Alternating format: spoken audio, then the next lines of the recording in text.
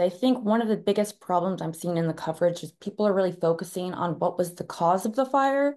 Fires are started for many, many reasons, a lot of times by people. And that's not really what we're talking about. What we're talking about is that climate change is making these fires much more dangerous than they would be if the climate was not warming. As temperatures are rising, we're seeing more frequent fire weather conditions like we've been seeing in LA. These really hot, dry, windy conditions that really kind of set the stage for extreme fire behavior and rapid growth. And that is really what people are so worried about because we are seeing in some parts of the country an additional two more months every year of fire weather conditions compared to the 70s.